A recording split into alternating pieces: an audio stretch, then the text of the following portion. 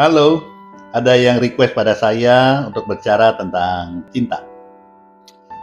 Cinta itu terbagi menjadi beberapa bagian. Ada cinta terhadap keluarga, cinta terhadap pasanganmu, cinta terhadap sahabatmu, dan cinta terhadap Tuhanmu.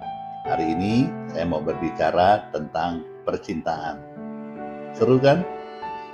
Cinta itu diibaratkan kalian membuat satu garis lurus. Di dalam Wikipedia, garis adalah kumpulan dari titik-titik. Dan demikian juga jangan cinta.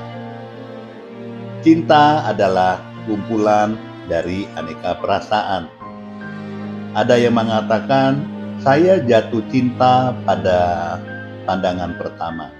Mungkin saja benar itu adalah pracinta. Ada yang mengatakan juga, aku sulit jatuh cinta.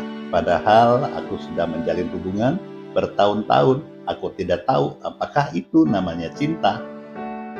Cinta itu adalah kumpulan dari perasaan, perasaan sayang, perasaan kepingin memiliki, dan perasaan nyaman, perasaan teduh bersamanya, selalu ingin dekat dengannya, perasaan rindu, selalu enak ketika berbicara dengannya, dan kasihan, simpati, kagum, hormat itu bagian dari cinta. Cinta itu akan hadir seiring dengan waktu.